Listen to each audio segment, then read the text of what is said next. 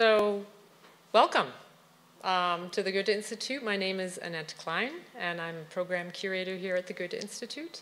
And uh, I'd like to welcome you all um, here. This is uh, one of our first in-person panels since COVID, so very exciting for us. Um, I know it's hard to get people out. Um, we're getting very comfortable.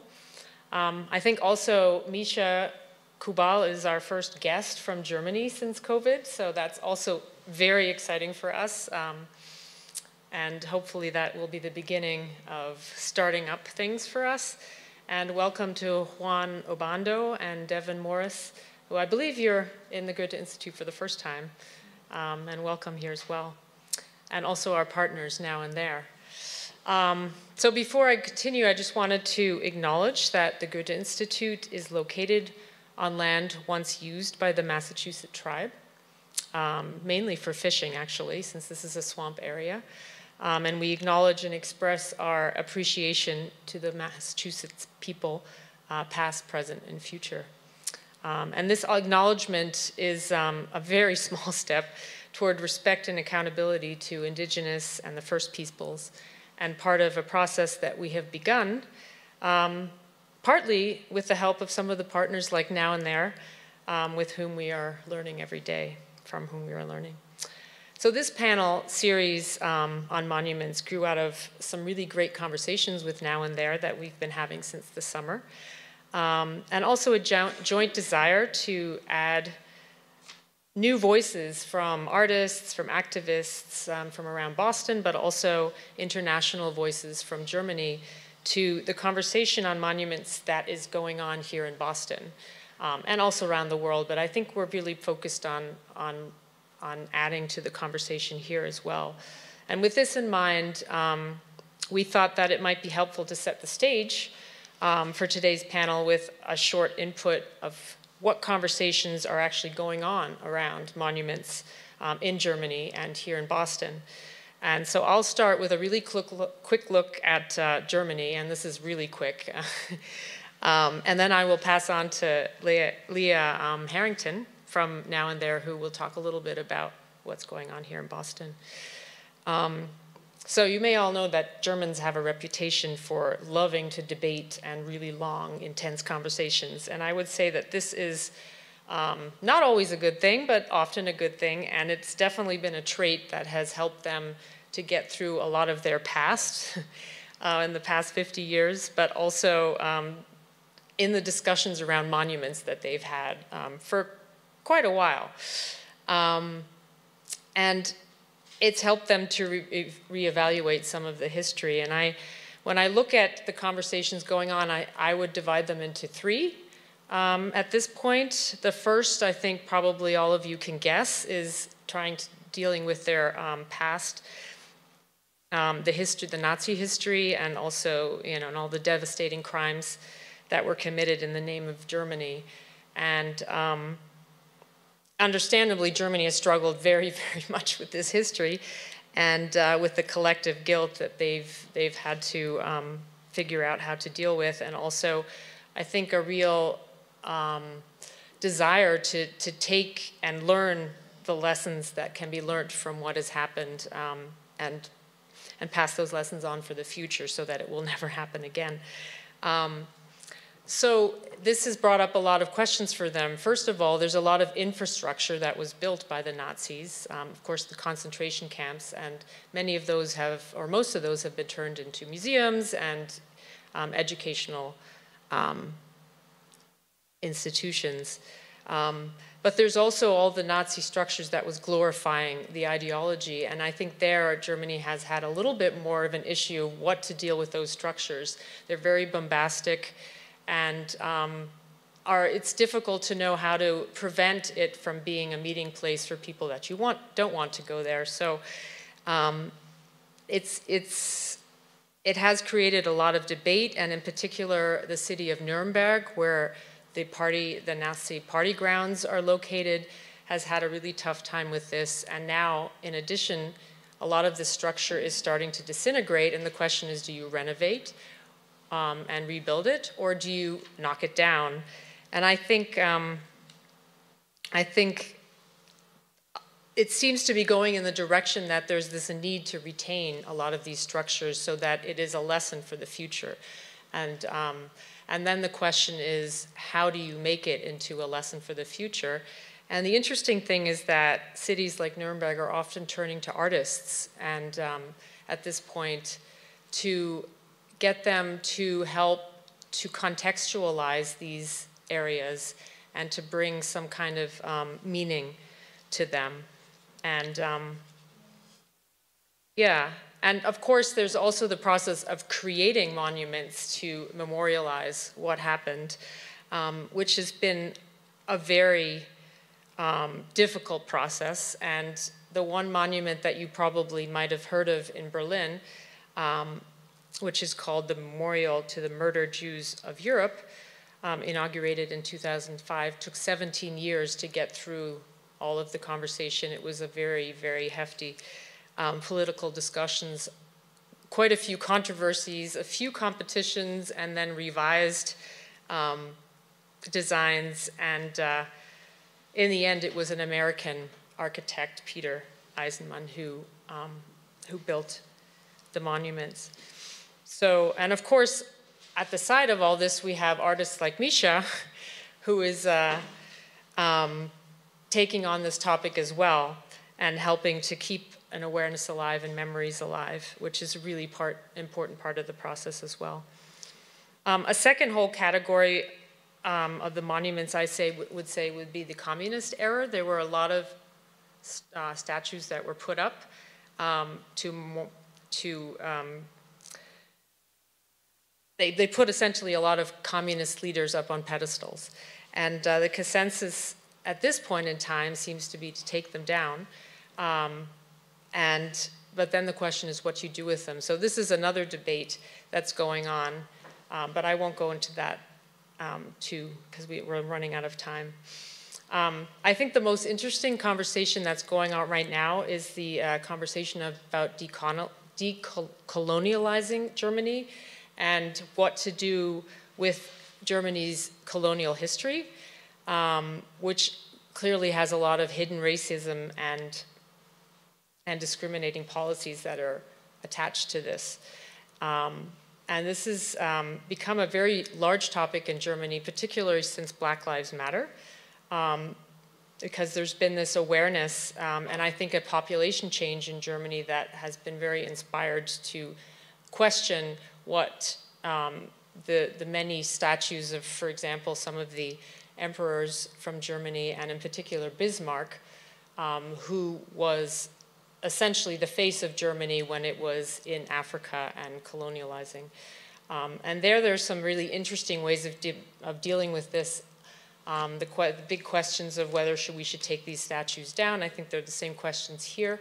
I think the tendency is going towards leaving them up and trying to contextualize them in a way. And there as well, um, in this case, the city of Hamburg has decided, after actually committing a lot, many millions of euros to actually renovating one large statue of, of Bismarck that's um, stationed there, um, they've kind of backtracked and started sponsoring workshops where they've invited artists and activists and uh, to have conversations about how one can contextualize a, a statue like this. Um, and I think the next step is, is, is a competition so that, so this is just a little overview of what's been going on in Germany and the three topics there. Um, I would say if there's a trend, it seems to me that Germany is looking towards artists and architects um, for ideas on how to connect um, to their past and the present, um, and to contextualize what is there as well. And I, I think that a lot of the artists are actually initially initializing all these conversations.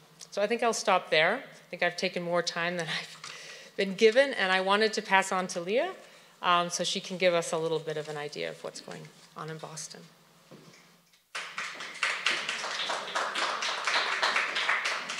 Um, hi, thank you, thank you everyone. Thank you Annette. Thank you um, the Goethe Institute for hosting us tonight. I'm gonna keep it really brief, but I'll just say um, I'm so excited for this conversation between Mischa Kuball, Juan Obando, um, they'll, they'll introduce themselves in a little bit, but uh, suffice it to say that I, I really think that some of these uh, cross-cultural, um, cross-idea conversations are just so important to the work that we do, and I'm so, so excited to be a part of it.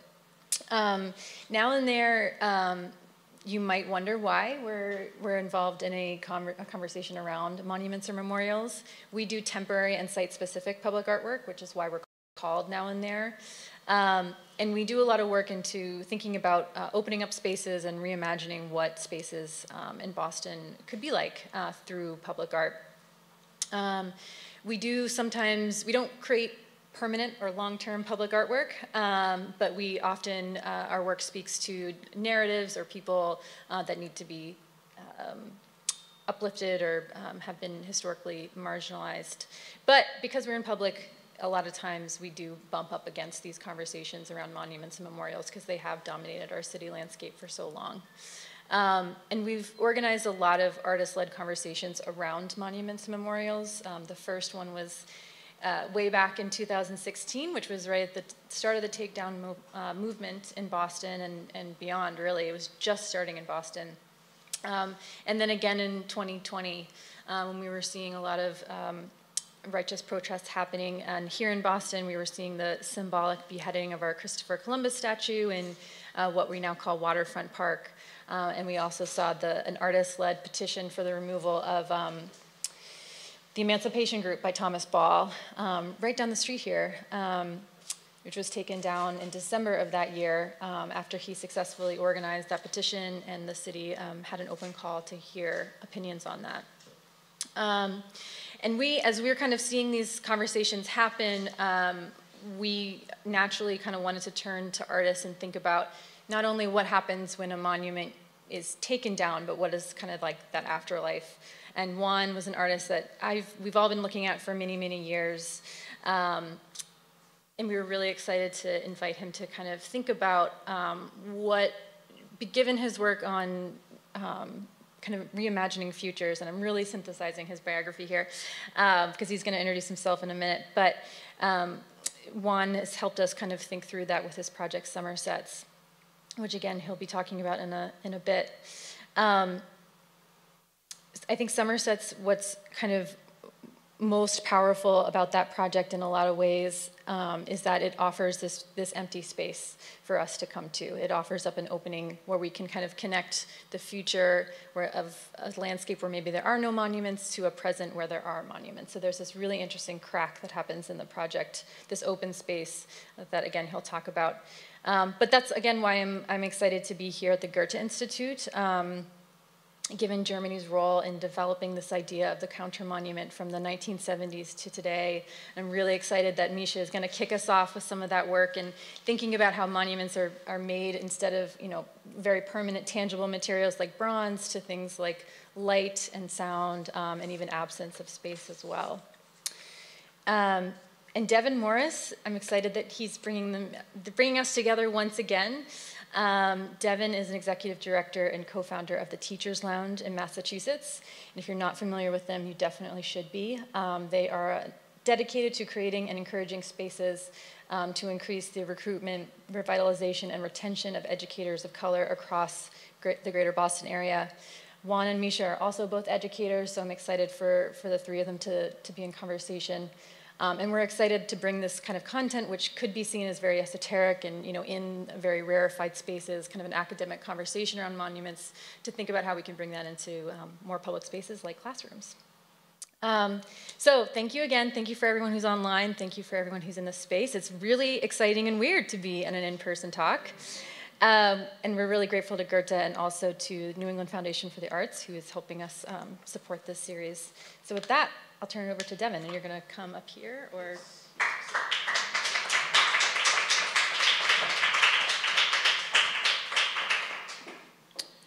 Uh, thank you to Leah, thank you to Annette. Um, thank you all for tuning in from home with us this evening, and thank you all for being here with us in person. Um, a big thank you to the Now and There team uh, and the Goethe Institute uh, for having me back. I joked with some staff earlier, uh, I must not have done a completely terrible job last month if I've been invited back. Uh, and so really excited to build upon our last conversation uh, with Lemerci and Ulf um, on global monuments. And so in our last discussion, we talked about monuments, movements, um, and moments and we talked about what makes a monument. Um, and as we sort of came to the conclusion of, uh, as a means of commemoration, we discuss who has the right to remember. And Lemerci uh, very poignantly shared with us um, her work with students in reimagining, or as she named it, representing monuments in Boston Commons, and Ulf shared his response to site-specific trauma that occurred in Keupstraße. And both shared a concept of transitioning commemoration away from objects and into processes. And Ulf said of his installment, the community is the monument. The political struggle is the monument. And the process of engaging all stakeholders is the monument. And so I really encourage folks, if you have not had an opportunity to go back and, and tap into that um, recording to, to hear that discussion, but we also encourage you all to be very present in today's discussion. Um, and so we ask that you all at home um, be active in our chat, in our virtual chat, and Teresa from the Goethe Institute will be taking your questions and making sure that they get asked in this space. And to those of you here with us this evening in person, we ask that you be thinking of questions that you have in response to what you hear or what you don't hear tonight so that we can make sure that those questions get addressed this evening. And so in our panel discussion today, this evening, we're going to ask, what role do artists play in reimagining the construction of our public spaces? We're going to explore how artists can intervene with monuments and create new modes of commemoration and community. And our two incredible panelists, artists, and educators who are here with us this evening, Juan and Mischa, will, um, as inspired by, the, by localized collective action in communities worldwide, um, Mischa and Juan are going to discuss with us their current and upcoming projects, um, Juan's work with Somersets and in Colombia, uh, Somersets here and in and his work in Colombia, and Mischa in Colombia and in Germany talk about their work and discuss, um, as we consider the afterlife of a monument and alternative approaches to visualizing site-specific trauma. And so I'm really, really, really encouraged by this conversation uh, and then by, by all of the ways in which we can talk about sort of the multiple entry points for all of the different stakeholders who will be joining us this evening, as I said, virtually and in person. And so without further ado, I'm really excited to welcome Mischa to the stage to talk to you about some of the work that he is currently doing. Thank you, Mischa. Thank you for your patience. Thank you. All right. Um, thanks for having me here, and I would like to thank Annette for the kind of a scope of the situation in Germany. I'm going to refer in a minute, and then also for Leo to give the in introduction about, you know, about now and there. I um, really appreciate this notion of temporary intervention.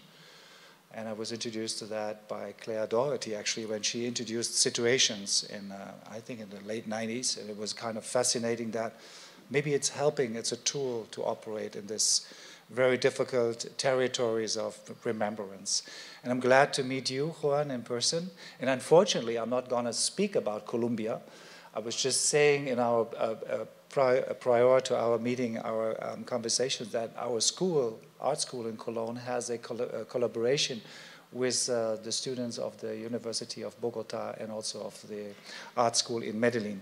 So I'm happy to share to share your expertise, and I will deliver to my students then in Cologne.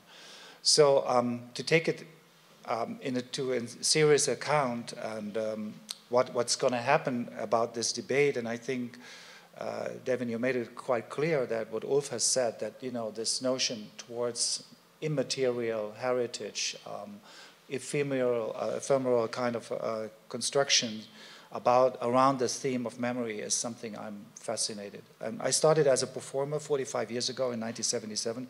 I'm not going that that, that far back now. But I want to pick one of the projects I would say is very important to me, which has the kind of a, um, it's a kind of a um, moment where in Germany uh, the government decided under the Nazi regime to, to um, implement genocide, which was then, after this moment of the 9th of November in 1938, called the pogrom, um, was not, was not um, ignorable uh, by anyone because it was so visible in the society. So what happened was that synagogues, Jewish um, um, places have been set on fire, but also uh, people have been uh, taken to concentration camps, and this was the beginning of a of a genocide, which still people are trying to find words for. So this is so so heavy and so complex that I think that is not in a single artist or collective mission to uh, accommodate this. And also they have been a lot of traces and, and notes and poems and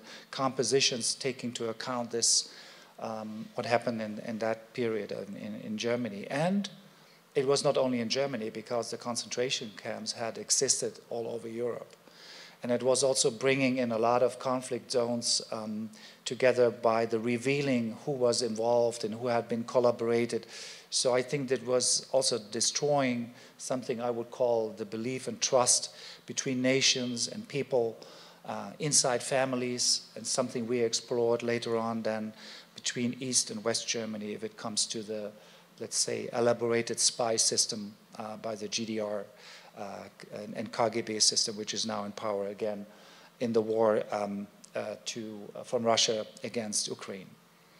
So um, not every synagogue has been destroyed, and this small synagogue in, uh, next to the city of Cologne survived simply because the Jewish community has left before the pogrom. So it was just an accident, it was a random situation.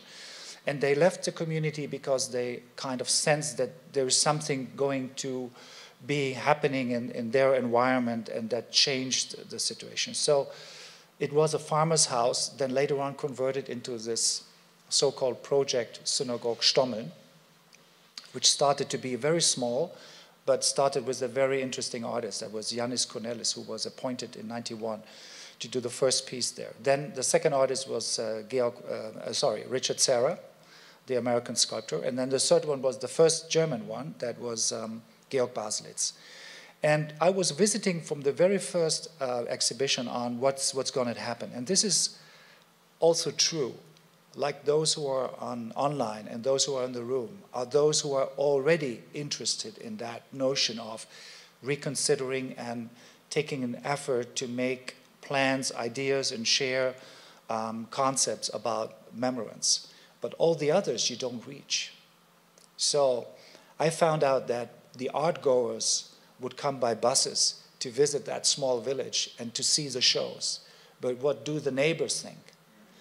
And when I use the term neighbor, I was, I was, um, uh, I had to recall that um, in, um, in uh, fall last year, Bonaventure Ndikung, the new curator at the House of the Kulturen der Welt in Berlin, said uh, he was giving an introduction speech to uh, speech to, to a work I'm doing. He said to me, Mischa, the, we are not talking about archives in walls. We are, we are the archives. It's in our body. And you know, Ulf and Bonaventure are colleagues at Weißensee, so that's not a coincide situation that both have a certain uh, compassion and um, emphasis on the notion of ephemeral remembrance. So when I came there, I was writing a letter to the organizers. So it's not the typical thing that the institution invites the artist. What's about the artist invites the institution? to do a project which they had not been considering before. So instead of using the synagogue as a vessel for exhibitions and bring the art goers to go to that place, turn it the way around. And what happened would be the synagogue is locked, and if people would come to that door, they had been exposed to the light of the synagogue which is inside, and it was not accessible. So it turns switches from um, a place to go to, a place which is not accessible, and it is like a, um, yeah, like a, like a secret space, and not many people have seen it before from the inside anyway. And also what it does, and this shows the next picture, um, is the connection to the neighborhood. So why is the neighborhood so important? Because they eyewitnessed what happened, depending on the generation, um, what happened when, they, when the Jewish community has left the small village. And how do we incorporate, how do we collect this memory? So this was all part of this, of this project. And um, it was also a start to engage in um, and work um, internationally with Jewish communities. I did in Sao Paulo and also in Montevideo, not in Colombia, unfortunately, uh, but also in Buenos Aires and then also in um, the Jewish Museum in Berlin. Uh, talking about remembrance and what kind of strategies and methods could, could come in, into play, here we are looking at the, um, um, the fall of 1989 uh, when the, the German, uh, East German uh, people were gathering for a demonstration, and instead of going home uh, independently, they um, decided to go on a march, which, which happened in, in Leipzig at the um, 8th of October. And it's important to understand that the people have been observed from the rooftops around these, these places. And then the army uh, made phone calls to Berlin and asking if they shoot, should shoot or not. And because the answer was no, history will record this as a peaceful revolution. Can you imagine? It's a phone call making a difference for 60,000 people being shot or not, being exposed to torture, to violence or whatsoever.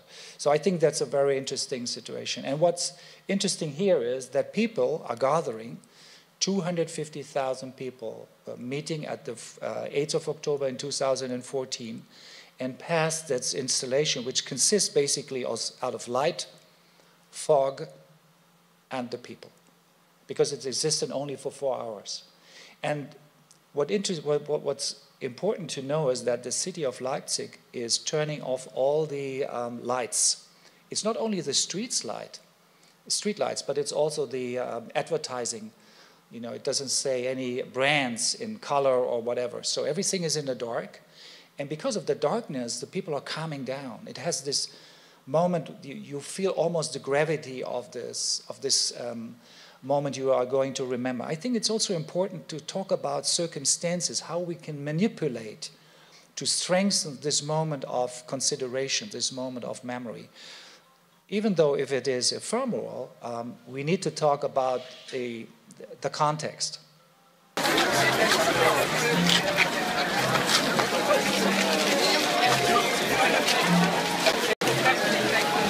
You have to understand there's nothing to see and people are gathering. And my, my twin boys, in that time they were like 15, they were running around and collecting voices, and they said people were throwing the coin like they do Fontana di Trevi in Roma, behind the back and with, with good wishes. No one asked, there is no choreography. It's just coming out of them. I think this is very important. The question was brought up now what can we do to encourage and to empower people to do what they want to do? And because they think it needed to be done. So I'm just giving a few examples, and we could dive deeper into that. But as you can see, because it's nothing to see, it's open to interpretation, it's open for projection. It's different from if you want to really determine exactly, people should read my work, our work, Juan's and my work, or any other artist who has been involved in that debate in this particular way. I think this, is, this time is a little bit over. It's more to a multi-perspective, a multi-voice kind of situation. And that's why the ephemeral maybe is the longer last solution because it's, it has create, will may, may create its oral history and it's a component I, I sense from the work I did with the synagogue. It's called Refraction House. People always telling me what they have seen and I know that maybe they never visited it, but they know from other people, uh, um, sorry, other people telling about it. I think that's quite interesting. And maybe this is another example how to address the public without preparation. I mean, most of the of the younger generation of uh, of artists quite um, how to say mature and know how to play the media and know how to play the press. Yes, one should do. But what's happening when you do something into the public space without announcement? You are making a surprise. And the surprise here is that the tram people use to go to work, coal miners in the city of Katowice in South Poland, are going to enter this, the, the, um, the, the, the, the, how to say, the, the stop line to get into the tram and the tram just pass. It's not in service, not for you, not for us. It's just carrying something else. It's carrying the light. It's carrying memories. There's this driver I, I found, Olga. She was driving five nights completely randomly. I could not even find her. She was on her own tour. And my Polish assistant, Claudia, she was translating the emails coming from Katowice. People said, My grandmother and my grandfather was in a tram. And I thought maybe it was Olga, but it, she has no relatives. People were projecting their losses in the family, what happened through Auschwitz, talking about concentration camp. Auschwitz was a, a kind of a, how to say, ironically to say, the perfect logistic system to kill people. It's unbelievable. The first camp was like a village, also kind of a, a mediocre situation. But then the second one was, a, was organized by tracks and, and trains, and everything was about deportation. So to use a tram in the city, which is 60 kilometers off that concentration camp, was enough to be as such without any secondary commentary on it. No text, no subtext, nothing, just by itself was creating this uh, resonance in the, in the audience of uh, Katowice. And it's also interesting that people were, that like this car you can see over there on the left, um, was stopping in front of the tram because they were knocking on the, on the window shield to get information. People were hungry to know what's, what's going to happen, but we didn't deliver any information. So after the fifth night, the tram disappeared and it got a new um, coat. So we, we painted it white and we did all this uh, frost foil stuff. And I, I was, I need to tell you, from the idea to the realization, I think now and there is now getting a certain attention. 14 days to work all the paper for the administration. And here's the budget $3,000, including the, the extra uh, payment for Olga to do the night shifts. yes, so it's a quick, um, just to see how the things moves.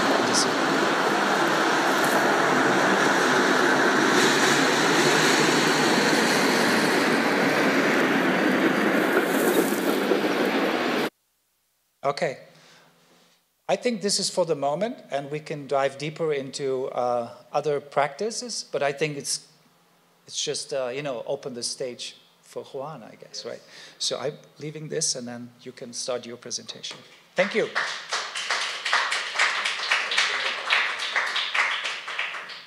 Hello, thank you so much for the people that are here, the get uh, now and there and especially uh, my two former students, uh, Gillian and Gina, that it's really great to see young people coming out for this stuff. They're going to be the next generation of artists and historians and curators. And I hope this is worth your coming out of the house. Um, thank you for coming. So, um, my name is Juan Obando.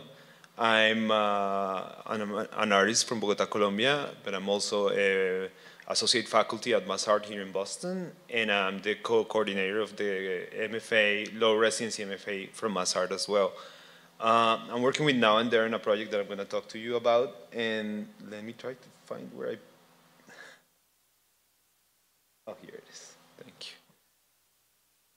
So, I come from Bogota, in Bogota, of course, Colombia, and Colombia has colonization right in its name. So it's quite an amazing experience to be in a country whose name after Christ Christopher Columbus.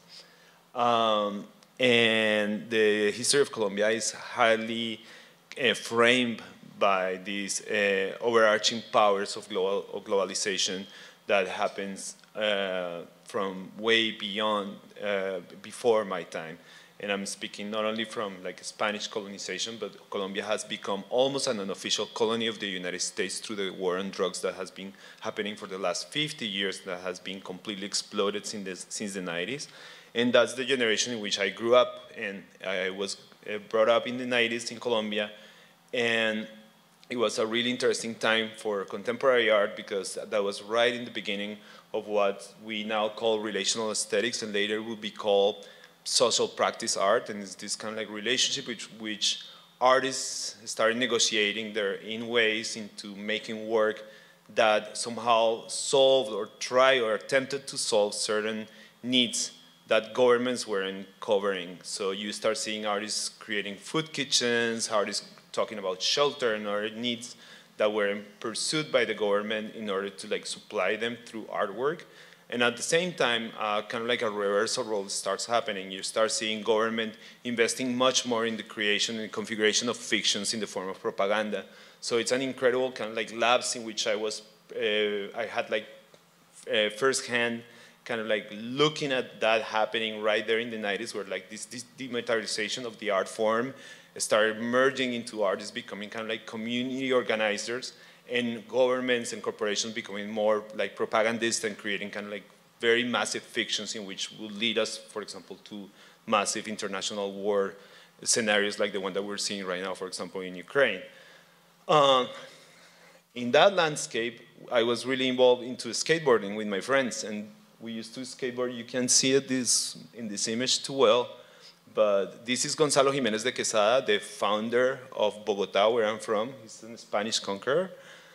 And I skated in this plaza uh, probably for three years every weekend. And if you can see the whole border of this, the edge of this plinth is covered with grease for grinding and skateboarding. And until last year, where, when this statue was knocked down by activists, I didn't even knew who he was. Like my eye level and the, my interest in this monument and the way that we monumentalize this site was through our action and interaction with it, to like a very physical thing that was coming from us from a complete different angles. That's the way how we experience that space. So one really cool thing about being in a country that has this incredibly like uh, violent history of colonization and current history of colonization is that you have to find ways to survive. And the, again, we were talking about trauma. The way that the colonized usually deals with trauma is through humor. Like you know that every piece of history that is surrounding you, it's a construction, and it's a construction to keep you in place. So from that um, kind of like massive understanding of uh, what our role is in a global negotiation of our identities, you find place for humor. And this is Americo Vespucio, uh, who's the, uh, the person who kind of coined the name America for the, uh, for the cartography of, um, of, of, the Americas. And if you can see it in his hand, he always had like uh, a globe of the world, and every year it gets stolen. And it's not because the takedown movement from like two years ago. No, it's been being stolen for the last 30 years.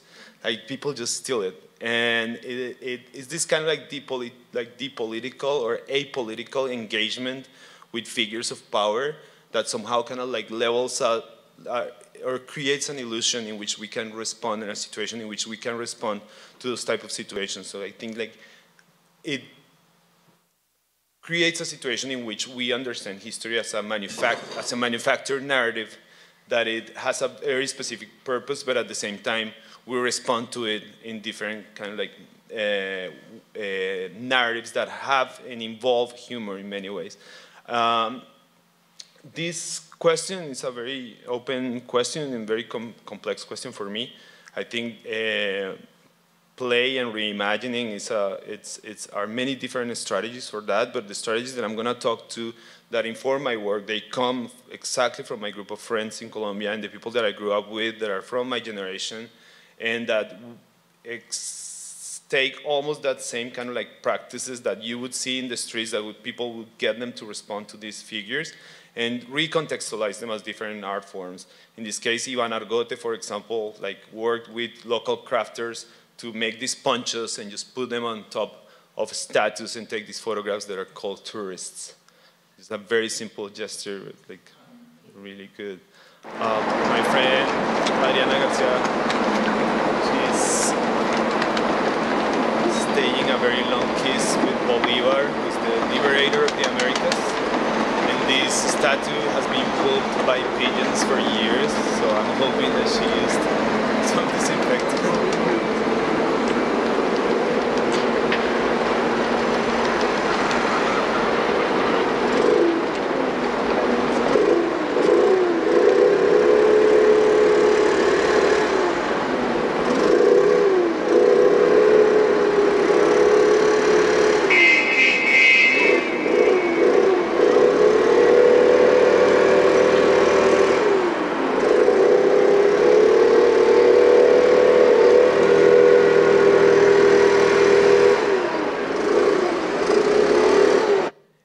Feel bad because her, the title of her piece is really is really beautiful, and I don't have it right now. But once we get into our conversation, I'll find time to find to check it. It's really good.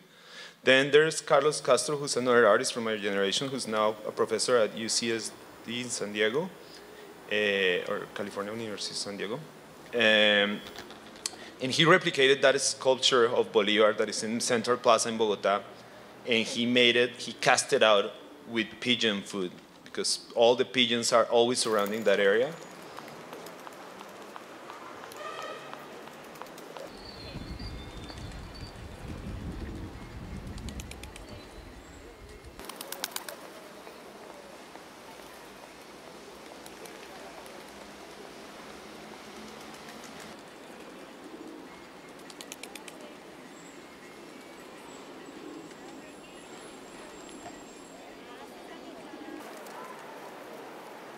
The video is very well produced because it does give you the the sensation that that's the main sculpture that's in the center of the plaza and not a replica that he actually just put to the side and was able to kind of like do the shooting very well. So you kind of think that it's the original one. So this whole casting is made out of like weird seeds for them to eat. It ends up becoming that it's like disappearing at the end. The, the head falls dramatically.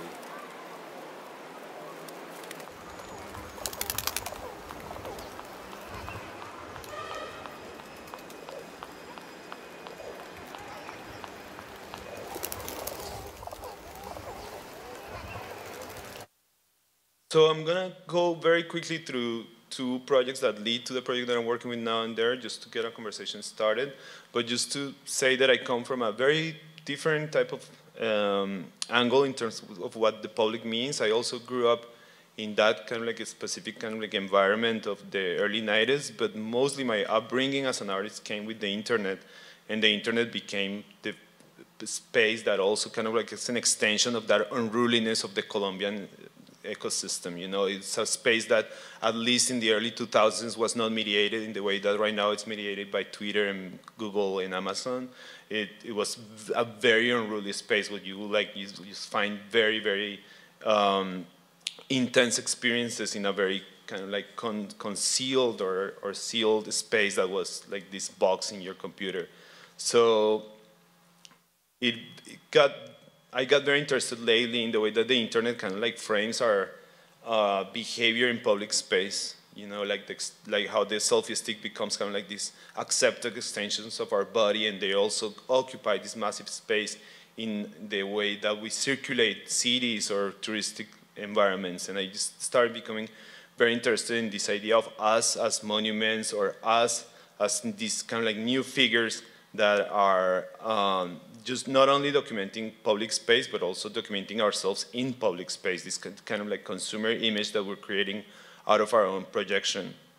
So I started creating these diptychs called Later Days that were just using stock photography and the way that stock photography kind of like also trains us to uh, become consumers and how the role that stock photography plays in the city. Like if you look at the signs and billboards around a city like Boston, stock photography makes almost 90% of them. So it's, all, it's actually training us to behave in a very public way.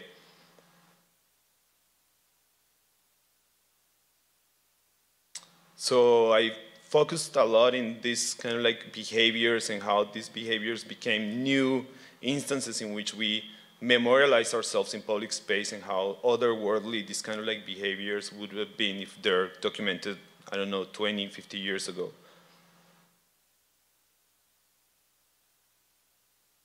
a series of photographs. Um, a Beer Without a Song is a piece that I really like a lot. It's based on this uh, uh, in um, dating applications, and this one is called Tinder. It was one of the first dating applications that came out. And it seemed very interesting for me how these are also kind of like public plazas and public arenas for us to share information and to meet each other and how these um, environments have replaced a lot of the uh, interactions that we used to have uh, before in like actual public space. But at the same time, how policed and surveilled these, oh, these um, applications are and how we, basically they're harvested for our data, our images, and our behavior, and for tracking our behavior as well.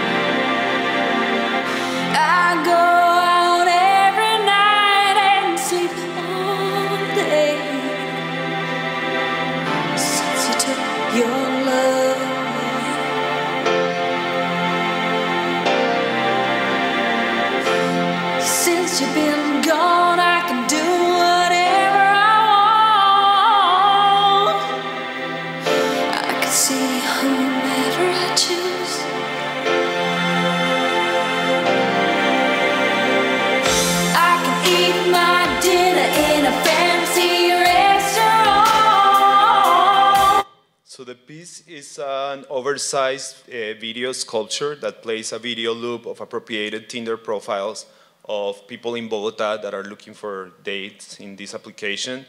And I uh, animate their voices to sing this very popular song that is very definitive of that area of massive globalization, like with MTV and all this stuff, and how, again, how this thing that is supposed to be private, it's so public to the point that an artist can appropriate it to make work that goes back into the public in a different scale.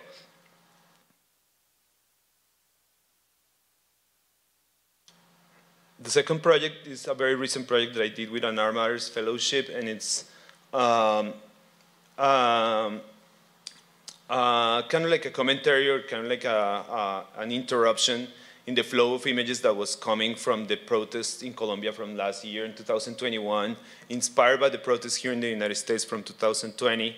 Uh, the youth in Colombia finally came to the streets to protest the probably 20-year reign of the uh, extreme right-wing government of Colombia that has been supported by the United States, of course, and and committing a series of incredible mass murders, uh, corruption, and there has not been any ac accountability about this. And the public at large has been very silent about this, the atrocities that have been committed in the name of uh, the Colombian culture or the Colombian nation uh, from this particular party that has been in power with different heads, but has been in power for almost 20 years now. So uh, what was really incredible about this happening in 2021 is that the images of the protests were circulating at such an incredible speed in, in social media, and that was the way that Colombian people were knowing about these protests and people overseas because of course what happens with a country that is in conflict is that many of us flee, flee out of the country so the, the way that I was looking at these images was completely through social media, and these images were just like circulating in an incredible speed to the point that they were not becoming memorialized in a way. Like they weren't constructing an archive, they were just like feeding the content in uh, algorithm, algorithm within these popular platforms. But it's really interesting because you're looking at an image of these very, very violent protests that are just like people are really fighting for their lives, but then the next thing that you're seeing is like a meme of like a little dog or somebody's picture of their cat on social media. So is this the perfect uh, scenario for these images to be somehow imprinted? And how do you preserve these images uh, in a way that also interrupts the, the, the, the narratives, the mainstream narratives, narratives that were kind of like hiding the way that the Colombian youth was rebelling. And one of those narratives was the fact that the, the government in Colombia started labeling the protesters as slackers. You know, like these slackers have nothing better to do than just go out and burn buildings. They should just get to work. And this was during the pandemic. And during the pandemic, one of the main things that we were doing to work was sitting in our computer screens, uh, doing Zoom meetings or Google meetings or stuff like that. And I discovered this little device that a lot of people were using. Actually, my, doc, my, my, my doctor was using it when we were doing tele, televisits, and it was this thing that is called a Webaround, and it's this background that people put in their chairs in order to cover whatever is happening behind them in their like little offices or people that were working from home. So I, I actually work with the photographers of the protests to work with their images and print these images into these Webaround sculptures that became kind of like utilitarian objects that circulated around people in Colombia and that also are part of these sculptural pieces. Kind of like creating a, a situation in which people could still go to work and protest at the same time and especially because a lot of students and workers in Colombia were using images of the strikes as their profile images in their meetings on Zoom, and their bosses or professors were chastising them and telling them that they will like be fired or just thrown out of school if they would show up with these profile images of the of the protests. So basically, what these objects are able to do is kind of like to interrupt that kind of like uh, um, situation. So my work with Now and There is very highly based on those two premises, the idea of the online and the offline world, how they influence each other and how they're kind of like reciprocate the same, the, the same levels and dynamics of public space, but how problematic that is. You know, like both, we understand public space as something um, that it's part of a democratic process in which we all have a say, but public space has an incredible amount of interest from capital and government. And the same happens with the internet. The internet is highly owned, and the internet, as we know it right now, is highly colonized by big capital and big tech. So we still find cracks into those systems. We are able to intervene them as citizens and users of the systems, but it, the systems are colliding more and more and more to become less probable for that type of intervention. So when talking uh, to now and there about doing a piece, that was when we started talking was 2020 and all these statues were coming down in Boston. And I was very interested in, the, in something that Mischa said about this idea of like monuments that don't exist and the monuments that, or, or the monuments, monuments that will exist, how they will inform like the imagination of artists and how artists kind of like probably their, their, their, their, role is more to plant a seed and then let that seed kind of like grow rather than telling an audience what an, an artwork means. And I'm very interested in that idea of, of an artwork that ignites um, a type of like imaginative political thinking without being political, without having a specific agenda.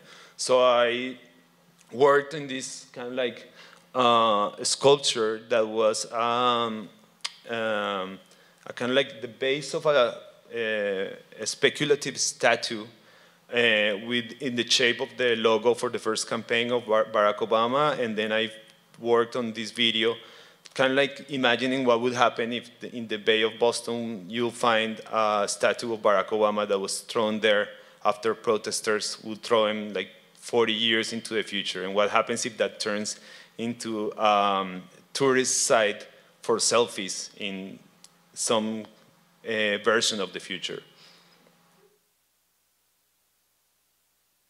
Like what happens when the people that we deem heroes become the villains? And I think that's a very interesting question when it comes to how do we assess history in terms of like the, our, our, relativity to time and the, how do we force public space and our values to align uh, to the space that we navigate in, that we live. I had this phrase here that I really like. It's a phrase from The Life of Galileo by Bertolt Brecht, and Andrea says, unhappy the land that has no heroes. And Galileo answers, no, unhappy the land that needs heroes. So uh, I really like that, that, that, that sentence, and that sentence actually led to the idea uh, coming up to the project. When, when we were thinking about this project, we realized that the complexity of making a statue and, and putting in it underwater in the Boston Bay probably would have been a little difficult to execute. And so we moved to something a little bit more um, uh, doable and at the same time that could be uh, way more open-ended in terms of like, it, it just, I find it very particular that Mischa showed that piece because it's a piece that evokes rather than dictates. And I think the piece that I wanted to do was something similar to that. So and these images, again, these images were, as the image that I showed before of Barack Obama, they were images of people that were conceived and perceived and prescribed as heroes at some point in history. Now we have turned and our values have changed, they have evolved, they have moved to certain directions, and ideology plays a huge role in the way that we project ourselves into these figures. So uh, what will happen in, in the next, what would be the next figure that is going to come down? What are, what are, what are our changing values? Are, what type of effect our changing values are going to have in public space when we are reading, kind of like reading ourselves of a history that we don't find that um, matches our present? And what about our future? So I was very interested in the image of uh, architectural development. If you see this image, this is actually an image that is created all in a computer. This is not a photo, an aerial photograph of City Hall. This is a three-dimensional image created in three-dimensional software for architectural models. And it's an image that we have interiorized so well because it's the image that paints progress all over the city. When you go to see an urban planning, this is the type of image that you look how, how the flags are perfectly flowing, the sky is a perfect uh, gradient of blue. So our idealized imagination of what the city looks like, it's highly perpetrated by uh, capital and by development and architecture. Renderings are a big, big part of that. I was very interested in like, wow, who makes these images? Like, they have to be so complex to make. I work in 3D rendering and making something like this has to be very complex. So I got in touch with them and they sent me some of their images. They're called uh, Design to Steel. They're amazing. So again, this is a three-dimensional construction. This only still exists as a computer file and is rendered in this way. Again, look at the beautiful flags, beautiful sky. Faneuil Hall in the back. Another view of Boston, completely constructed in three-dimensional renderings. So I was very interested in how, if we take the language of urban development that is usually associated with gentrification. What happens if we use it to get kind of like a part of the city, city erased by this type of image? So I started thinking of basically covering a, a view of the statue with a rendering of its, of its background with the statue removed, but the whole image being built in three-dimensional renderings as if it was a site for development in the future. It's a very simple gesture, and that's why I, uh, I like the way that Mischa talked about that, about subtlety and, and, and suggestion. That speaks to my earlier interest that I talked about earlier in this presentation about the way of, of social media and the online world colliding with the offline world and how do we position ourselves in public space looking at people today just taking photographs of Faneuil Hall I was all, again being reminded of this, how, how we become monuments and we monumentalize ourselves through these systems and through these networks. So the proposal for Somerset is a very simple one. It's this series of erasures that happen are going to be installed in the form of billboards and they'll have constant lighting on the top. These were some of the sites that we had for consideration. I was very indiscriminate about the sites. I was very focusing mostly on uh, male European figures, but there were some other ones that I was just um, considering. I just wanted to uh, capitulate on the probability and the many theories and academic uh, programs or um, not, not, not, academic programs, but uh, academic theories that call for the removal of all, all, monuments. There's a very famous one that is all, all, all monuments must fall. And we finally decided to uh, go with Sam Adams, which was the one that we had the most probability of finding support from the city and uh, timely access to permits.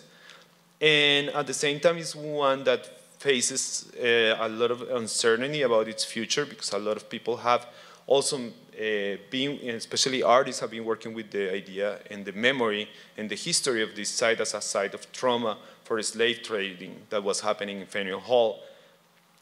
So the proposal and what we're working right now is working with this architectural rendering company called Design the Steel to create a full 3D rendering of this background of the Faneuil Hall, basically, and installing this uh, monumental uh, digital rendering installation that is going to be lit with LED lighting all day long and all night long, so it's going to preserve its time of lighting as a way of us reflecting on our present, like what are our role in the what is our role as citizens, not as artists, because again, I think that it's not only artists that get to decide what happens in public space. Artists throw an invitation, and the invitation here is to rethink and reimagine what can happen in that empty void, in that empty space in the middle of that image, but also at the same time, not only is a reflector, but it's a projector about what's the future gonna, what's the future gonna look like once we don't have these sites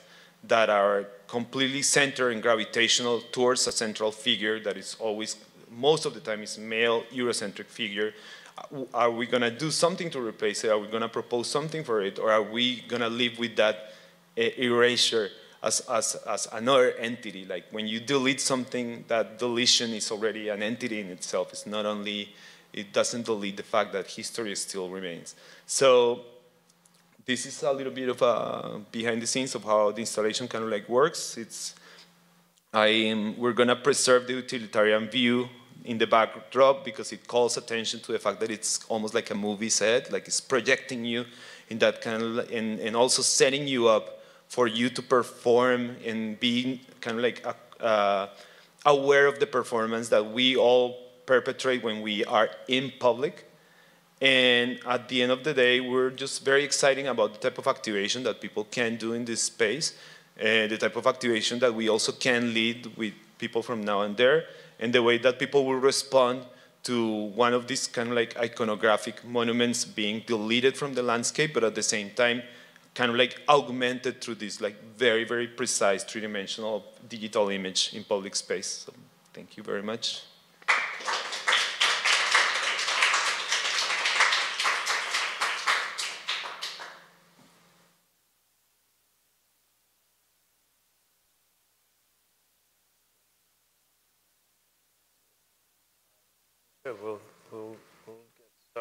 Is this okay to, to leave, to close? Yeah.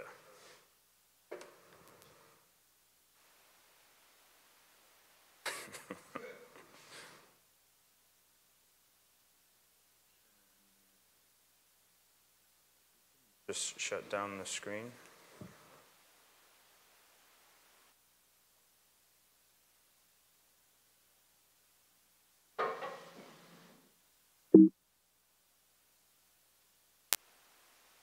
No, That's it. Yeah, yeah. Thank you. No, I think that was the right move. Great, great, great. Um, can we just get a quick round of applause for both of our presenters?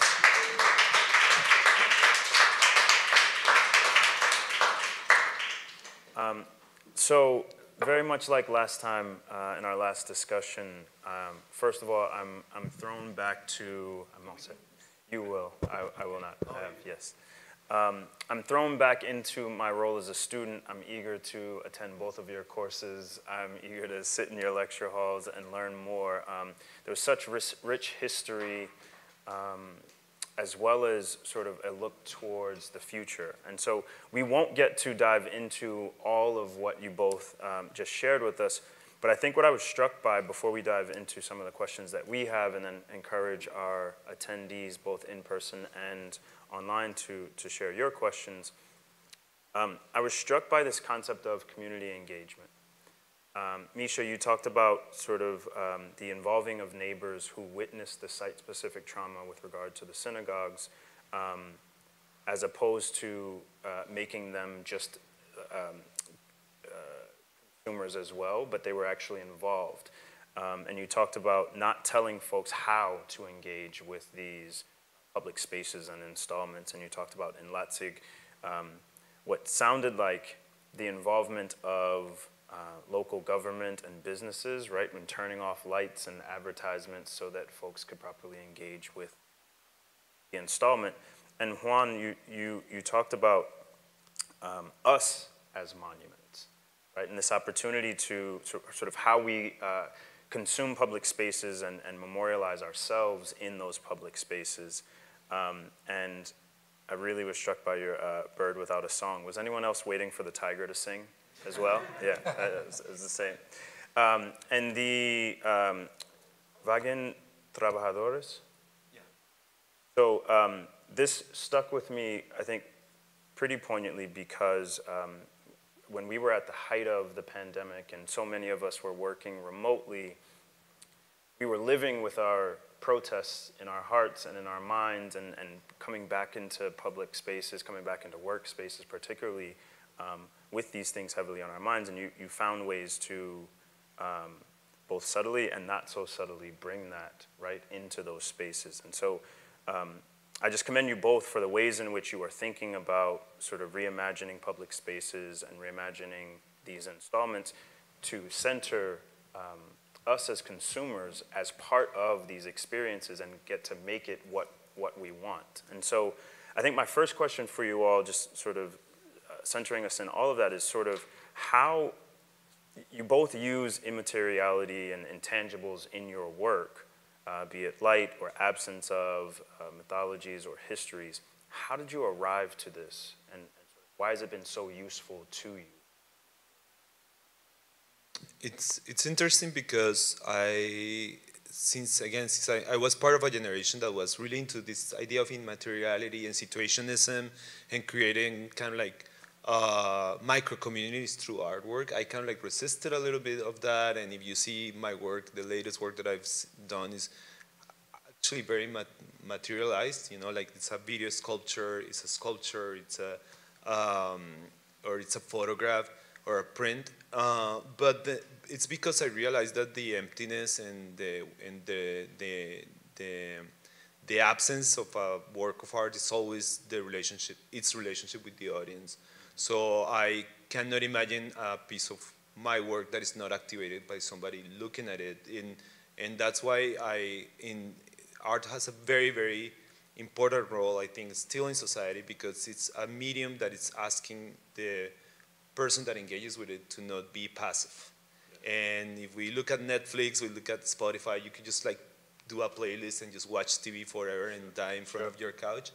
But with art, it just like destabilizes you and asks, and asks, you what's your role in this piece and why are you watching this and why, why is this image uh, activating me? And I think that's, the, my, that's, that's how I, arrived to that image. I realized, I, or I arrived to that idea of immateriality, or more, more than immateriality, I think it's absence. Like for me, the work is not complete until the, there comes to an interaction. But the interaction is not didactic in the way that somebody's gonna get something material out of it. Sure. It's that I think that, as Mischa pointed out, like you plant an idea, you plant a question, and the question probably becomes more perpetual than whatever you're cemented in a gallery or in a museum. Sure.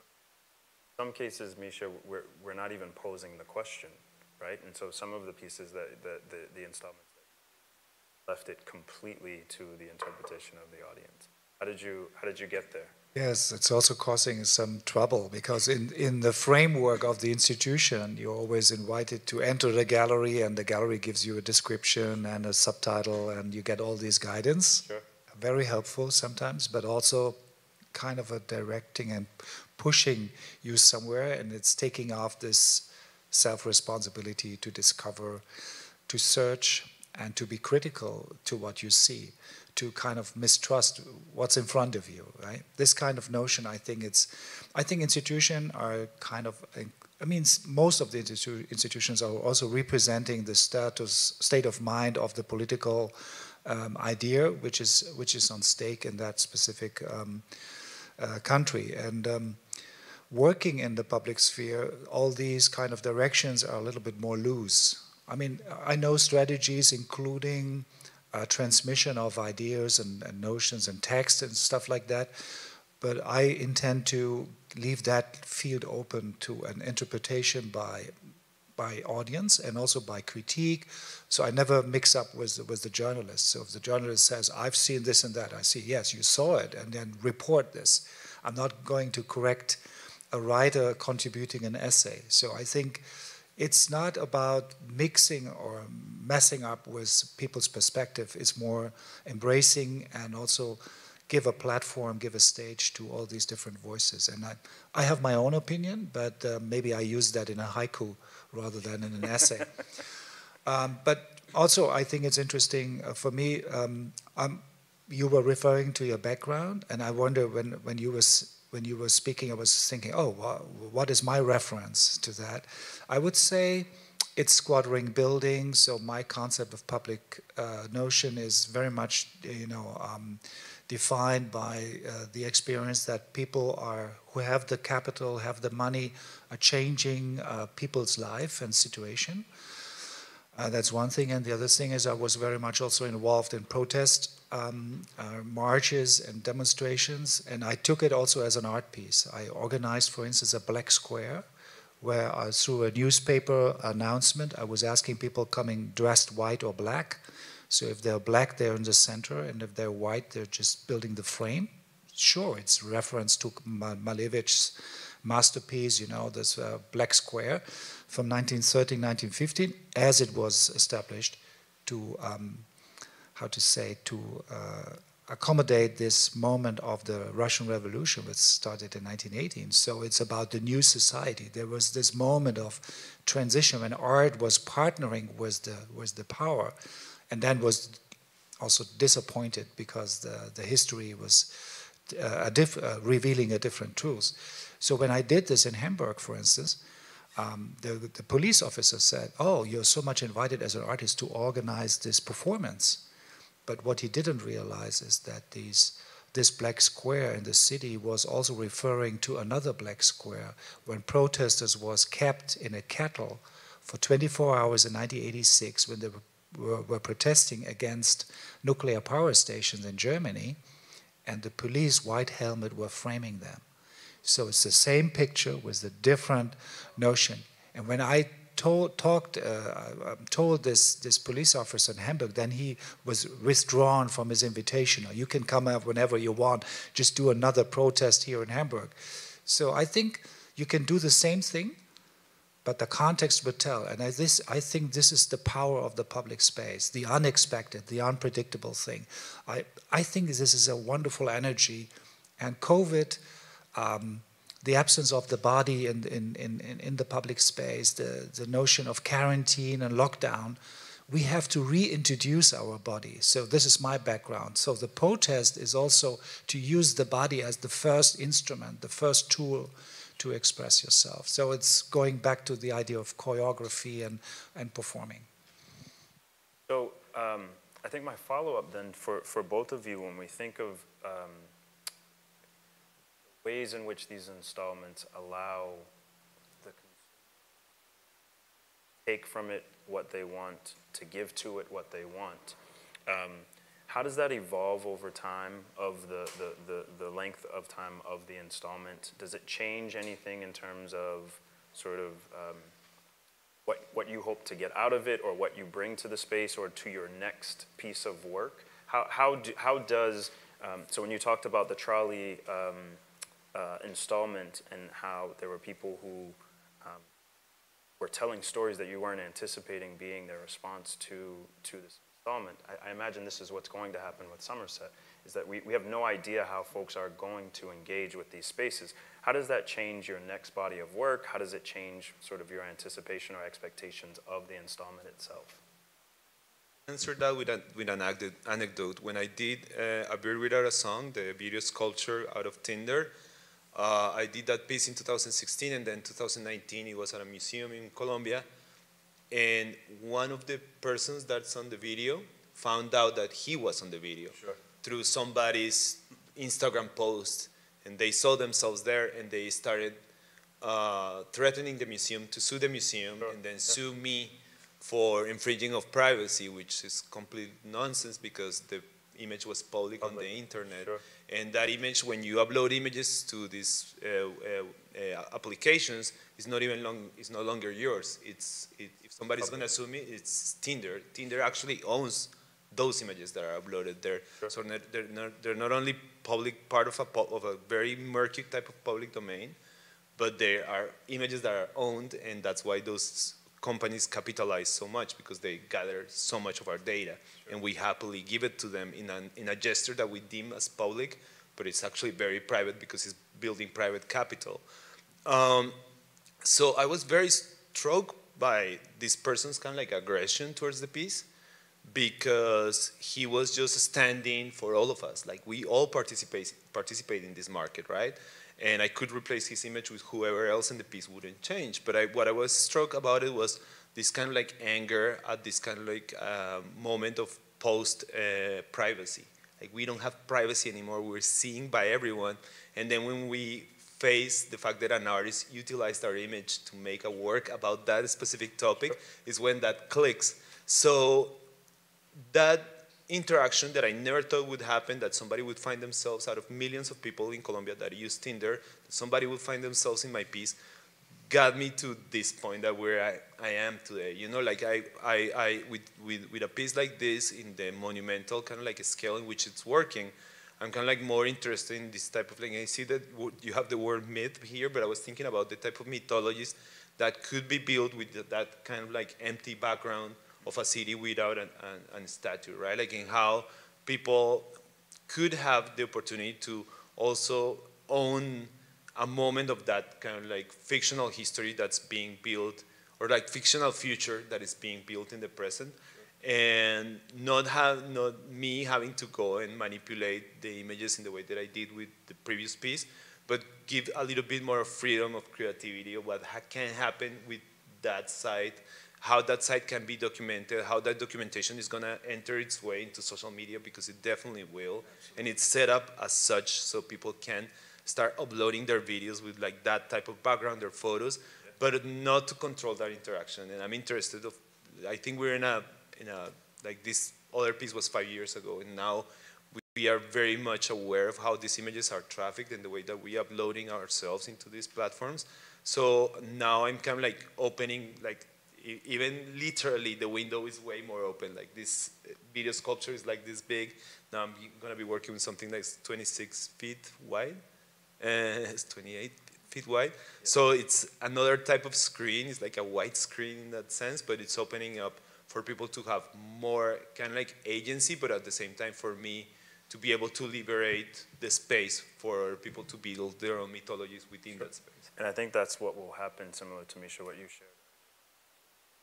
Your different stories, tales, captured in those spaces that are user generated. Maybe Juan, as you also had it on mind, I think when we are initiating a process with the community, we are always touching immediately the question of multiplier ownership. So I found out when I do a research, like for three years, interviewing 100 families from 100 countries, and I collecting all this footage, you know, 400 hours recording and and all the images which have been produced as, alongside this uh, this interviewing and uh, research project. I found in the end all this material belongs to the people. So I found three foundations to just cover the expenses and give it to a, a foundation, a museum, uh, which is able to maintain or also work with the archive and employ someone to deal with the archive and then here and then show it or give it as a loan. I think this is something um, I, I didn't I didn't think about in the first place, but now it occurs more and more. This is something you need to clarify from the very beginning. What is what is what is going to be taken out of this for you as an artist, and what is also given with your autograph and signature to the art market? Because we are not naive. We know we are in this we're circulating, you know, even if we are producing knowledge or uh, um, um, experiences, so we share with other people, and and we also entering a zone where this also can create value. And um, and you said that you know people just upload their, their image, but then next moment it creates big data and and uh, it has benefit to to some investors. Um, I think this has to be very clear, and also when you, the people open their doors and uh, their minds and, and telling their stories, it has to be um, certain for them that it's not misused for uh, another purpose. Um, but in the way you do it now, inviting people doing the Somerset the, the screening and, and, take a photo of the memento that this landscape, city landscape, urban landscape has been changed through your intervention. I think they are also stakeholders for themselves, so they have to increase their responsibility. So I see these two notions should be kind of, kind of balanced in a way, or should be also elaborated. Um, I want to ask one more question. Um, we, I have plenty more, um, but I would love to also open the floor to uh, questions from our audience here and at home. Um, and so my last question for now, sort of, how do you see people engaging with monuments and public spaces in the future? And what do you wish for monuments and commemoration moving forward? Those two things may align, right? And they may not align. So. Yeah, it's difficult. The first question is very difficult because I'm very bad at predicting things of that scope. Mm-hmm. I think that there's a bigger questioning of public space and what public space is, and I wish that this will bring uh, uh, and I think with Somerset's the question is asked is what's going to come after this kind of like iconoclastic moment that involves symbol, pure symbolism. Of course, that symbolism has effect on real people's lives, but at the same time, it could be also a distraction for many other things. I'm thinking just in the case of like decolonization, we uh, take down uh, an image of, I don't know, Christopher Columbus, but still we are part of a system here in the United States that's highly colon, it's, it's applying contemporary colonization to other countries as we speak today. And I, I, would, I would like for people to also like see beyond these kind of like symbolic gestures in what real kind of like political action they have the power to exercise, which we've seen that they do have power to exercise. I think 2020 was a, uh, uh, a demonstration of that. Um, so the monument comes down. How is that changing our reality?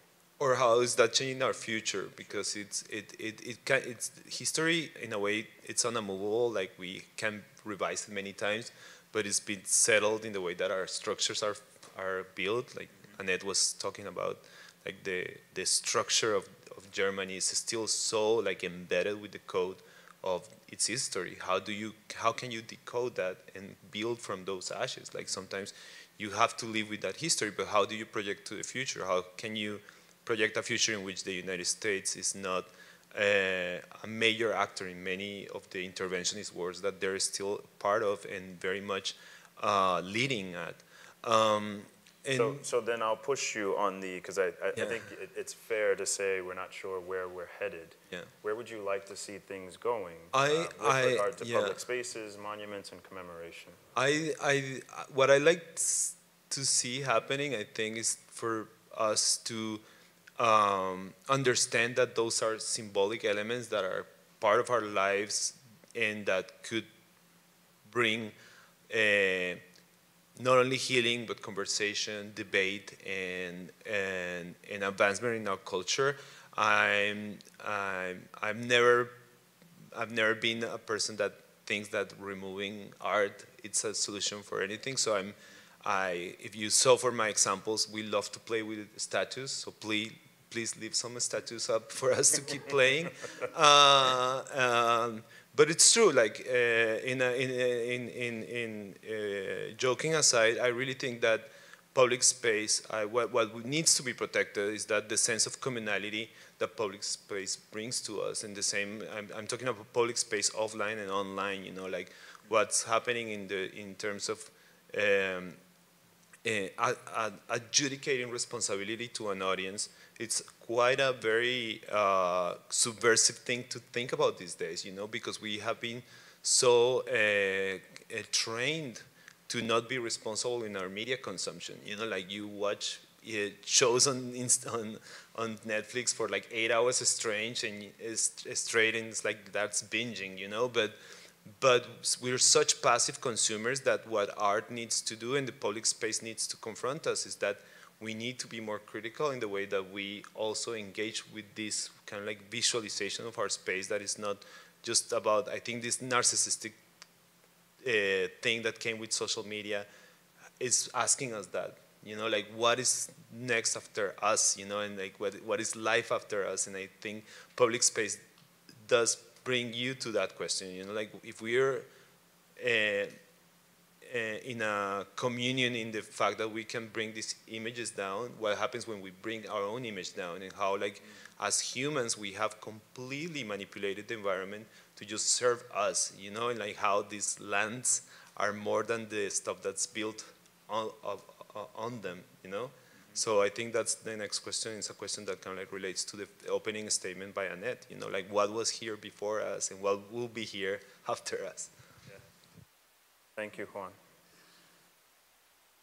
It's difficult to say something after you. I mean, you embraced everything almost what uh, what is on stake. But um, I have a clear uh, mind of um, what I what I can see or without forecasting. But um, I don't have a um, the glass uh, bubble in front of me. Sure, sure. But uh, what I can see is that. Uh, uh,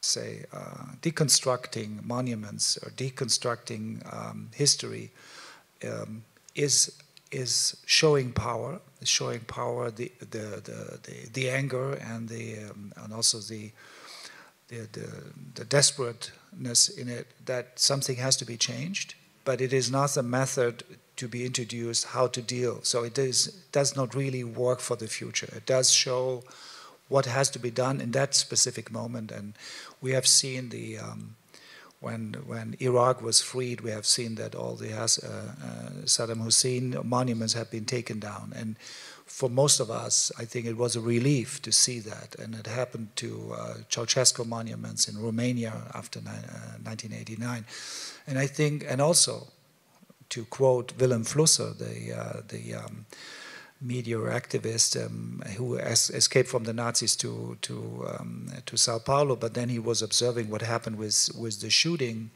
of the of uh, Nikolai and um, and Eleanor in front, uh, Ceausescu in front of the TV, and he said that it was a crucial act. It was it has an inhumane uh, ingredient, but the people wouldn't believe in Romania that they are freed from the dictator if they would have not seen it on television.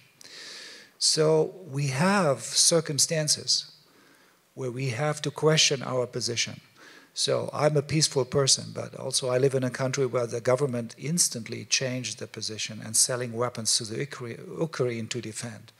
So none of those people who have decided that have said that six months before. So the truth is that everything is in transition, is an organic or non-organic process involved. It's it's a non-linear, it's it's under how to say contest. It's under under tension, and so I feel that I'm more into that. Let's say what you also shown with the practice of your colleagues as well. So interacting with the sculptures and the and the monuments and criticizing them, contextualizing them, changing them on in a very different way, I'm, including stealing the the globe of Amerigo Vespucci. But in in the end, I think it's always dealing with it. In the moment you put the screen in front of it, there's also this illusion. It has this uh, this kind of Hollywoodian kind of a character notion that you can ignore it for a moment to to uh, to uh, provide happy life status, and I think it, it. it's helping because next day it's gonna it's gonna be the same before it. So the monument is not gone. So we still have to deal with history. With Germany, as Annette, uh, Annette was telling us, that, and it's true, that we still have the remains in architecture and the street. I mean, I know so many cities founded by the Nazi regime, and they have so many problems with the identity of the population to deal with because of that notion and the DNA of that.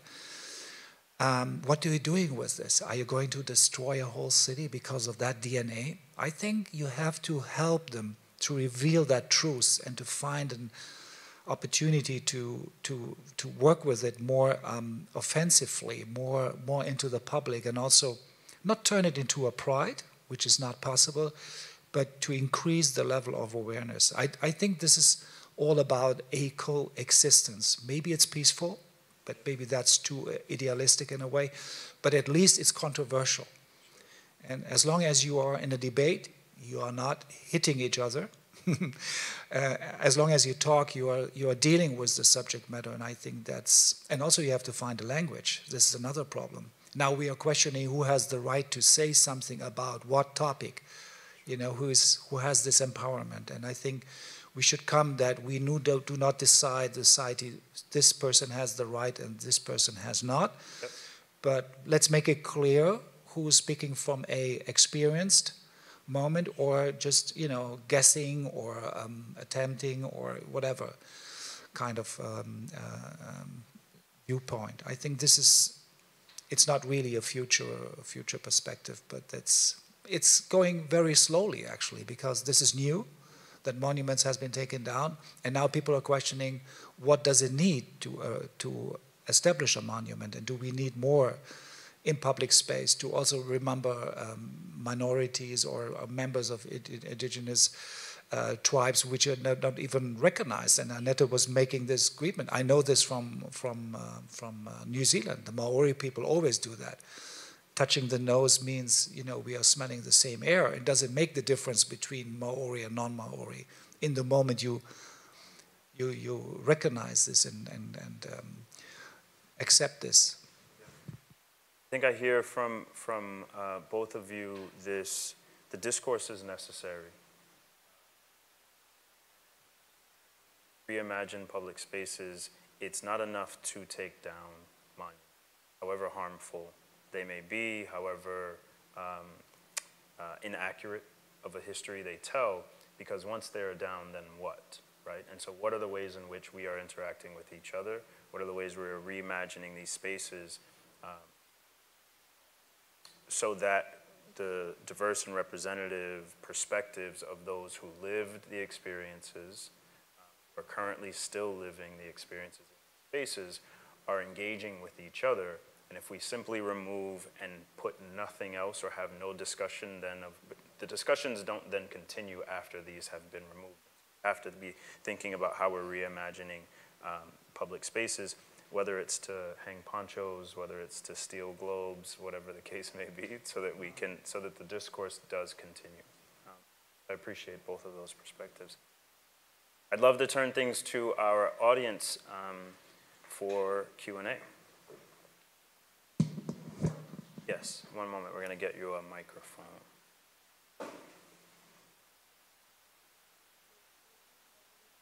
Sharing so much with us here. Really enjoyed it very much.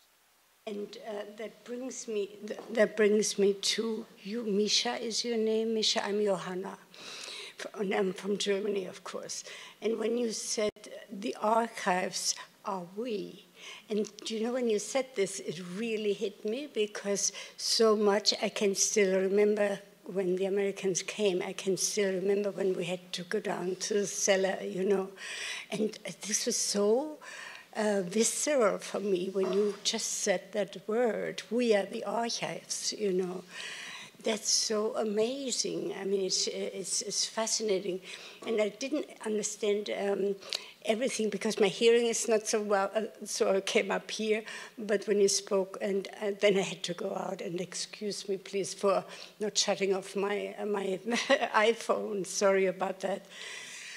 And so I didn't quite um, with the train with with nobody in it, right? The symbolism of it. Uh, I mean, of course, it goes back to the trains, you know, when they were transported and all of that.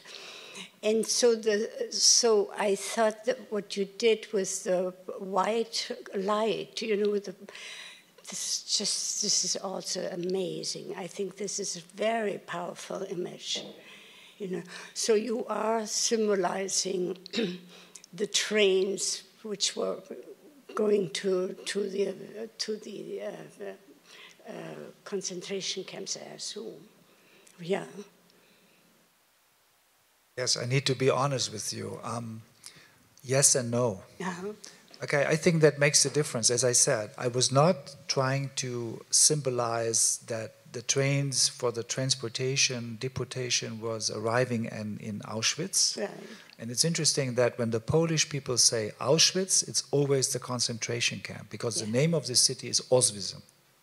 What? Oswiecim. Ah. Okay, so then because the German aggressors didn't like this pronunciation, so they Yeah. called it Auschwitz. It's a Germanization of the word of Oswiecim. Yeah, yeah. Okay, so it's, it's very interesting. And then, then when the Polish people use Auschwitz, it's always the Nazi concentration camp. Yeah, So there is a distinction in the language. As I said before, we can we can get into more details about that.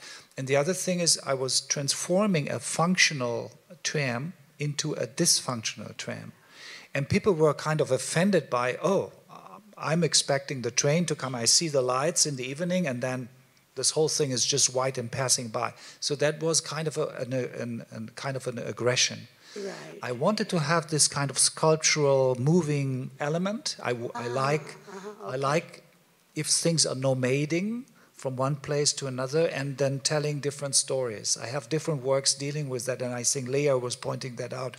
I think one of those pictures, Dysotopia, a truck driving through a city, is irritating, but also claiming something to those people. So then the reaction was, oh, my grandfather was sitting in that ghost tram. Also, because of the name of ghost tram, it became a narrative in the city. Ah, I see. And then people started to project. It was not my intention, hmm. because I think as a German artist, it's a little bit more than offending to come to Poland and tell pe- Polish people how to look at this. experience, Yeah, yes. right, exactly. It's- Thank you. I wanted to level myself. Sure. Yeah. Sure. Yeah. Yeah. Thank you very much. Thank you, Johanna.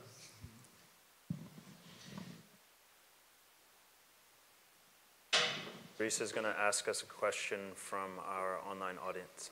Yes, so David Rubin is asking Should we build a monument to COVID? Which current issues, movements deserve to be commemorated with a monument?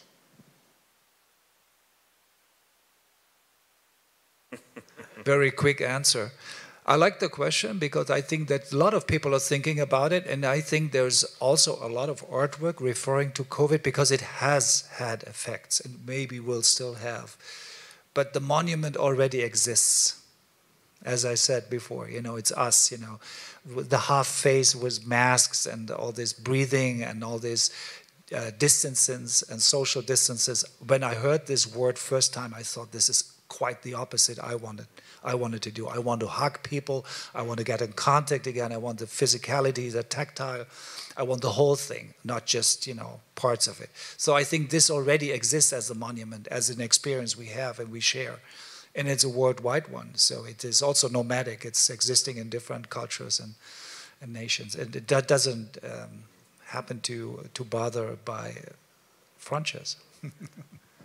And going back to that quote of like sad the land that need is heroes, I also think that we need to revise, or we could revise the idea of why do we need more monuments and how, why monumentalization is still important, and look what it's gotten us. I think the, the, um, this type of hierarchical thinking that it hides itself as democracy, but that it really kind of like uh, it's another articulation of power, of the language of power and monumentalization needs to be revised. Like, why do we need a monument where we are walking monuments ourselves and our histories? Again, I go back to that first image that I show. I never knew that that was Gonzalo Jimenez de Quesada, the, the, the founder of my city. I, the, the, my memory of that monument is that I loved going out there skating with my friends and just like waxing the curb so I could grind better.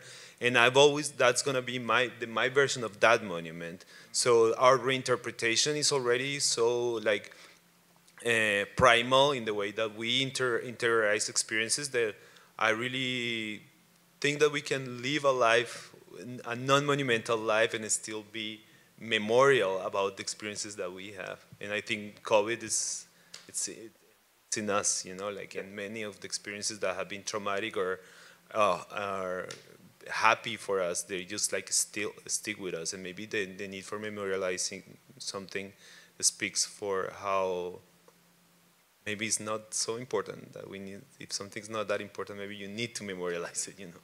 I think it's an interesting question. We, um, most succinct answer I could give, uh, and I'm sure the question wasn't for me, but um, um, too soon, right? We're still in it. We have not, uh, when we talk about memorialization, when we talk about um, monuments, however we are defining them, as experiences, as discourse, um, as, as figures, uh, physical objects, or what have you, um, we need to have come out on the other side. I think we're still very much in it right now and don't know the long-term effects of um, what I would say beyond COVID is just the multiple pandemics that we've lived through uh, and are currently still living through. So it feels like it's too soon, though, though there's much discourse happening in the moment, very much like this one. Um, but it feels like it, it will be uh, commemorated somewhere, somehow, uh, coming out of Hello, thank you for presenting. Uh, I think we're living in a very interesting moment, and your presentations were very interesting because you provided a lot of historical context and you provided a lot of current globalization, technologization context. And um, an artist that I think about a lot is Ai Weiwei, and how he kind of is very polarizing and very and challenges a lot of ideas to the point where he becomes unsafe.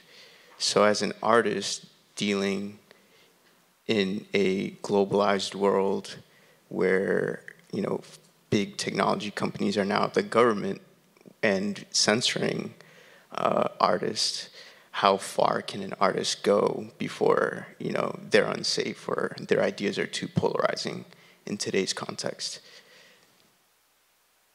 Well, our artists are very good at hacking those systems. Uh, um, you don't need big technology companies to mo mo moderate the conversation in a community. And I can tell you from like growing up in the 90s in Colombia, it, it, it, the conversation around contemporary art was completely dominated by three major museums that never looked at our work like at all. Like they were really focused on like painting, abstract painting back then. So in a way, they were censoring the way that we as young artists would enter that system, right? So it's not similar from the type of stuff that can happen when you, like, I don't know, like upload some like type like weird video to YouTube and all of a sudden gets taken down, right? You don't, you didn't have, as young artists, we didn't have access to these spaces that were support, supposed to be supporting us as artists. And what we did is that we started like doing like Eh, garage galleries. You know, like we started doing independent art spaces, and the whole history of independent art movements is basically a response to censorship and and and and, and segregation. Like basically, we were not part of like a major conversation that was what was considered like high art at that moment in the history of the country. And we said like, why don't we put some money together and, and rent a house and we start doing shows there. And turns out that a lot of people really needed that. We started getting a lot of people coming to our shows, uh, and started kind of like redefining the history of young Colombian art in that moment. So the same with technological companies. I think we are in a what uh, some people call a new dark age. Like we're completely over-informed, scrolling all the time. We we don't even know how to save images or like create a website. You know, like uh, create uh, those are the, the bricks and the way that structures are built on the internet. And if we are not kind of like knowledgeable how those structures are being built, and we just like are left with the shiny screen and the likes and the followers, then we're in for a rough ride. I think we, not only artists, but general people, we need to be more literate in the way these systems operate and how they're built in order for us to build alternatives to them, even if it's online or offline. If you're putting a show together with artists in, the, in your apartment, you're already doing a lot to keep that type of like countercultural and kind of like questioning art alive. And on top of that, if you learn how to create your own platforms, how to navigate, create different networks of distribution on the internet, there's still a lot of ways and that kind of like art thinking is what gives you the power to, to not be complacent to what you, with what you have, right?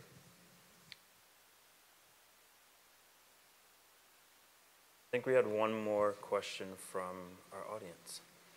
Hi. Oh, that was very loud.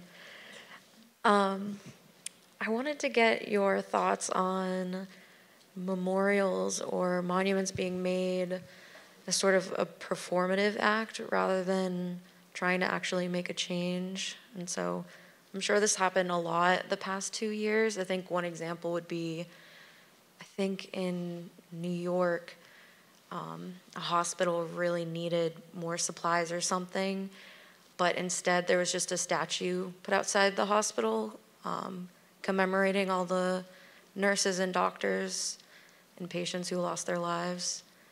Um, I know that may seem a little apples to oranges, but what are your thoughts on that type of performative action versus monuments and memorials that are actually made to honor people?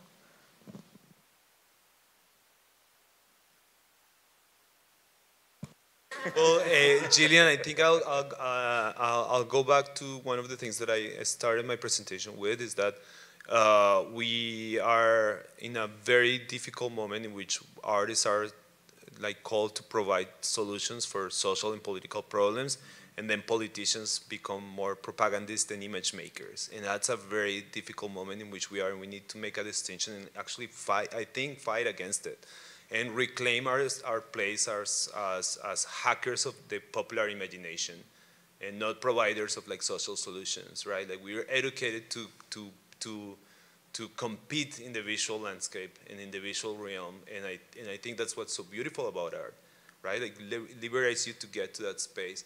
But when issues like that happen, what you're saying, like we've seen that happening so much, and I think uh, systems of power are so good at dealing with symbolism and that we have been accustomed to the fact that symbolic wars are real wars and that the reality of our environment, be local and global, is navigated or negotiated through symbols.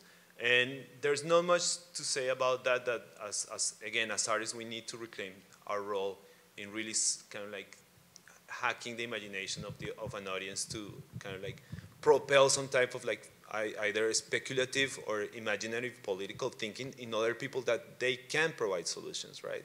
And if we understand that we all have different capacities in a society as storytellers or narrative creators to other people that are inspired by what we do, I think that's more than enough for us, again, as people that we actually, we do deal with symbolism and that's our realm.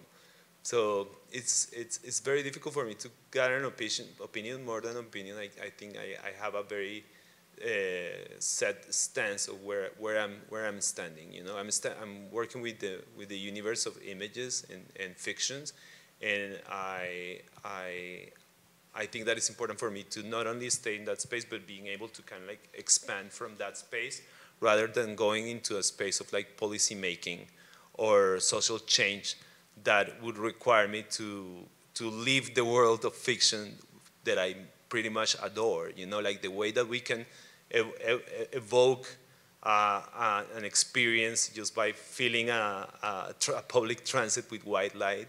You know, with, with, without really having to go into the history of what would reparation, to, for example, to the Polish people would look like. You know, but how can that image circulating the city can inspire other people that really can make that change and for us to also keep building our arena. You know, our arena is, is imaginative, for me, it's imaginative thinking and creative thinking towards possible other worlds.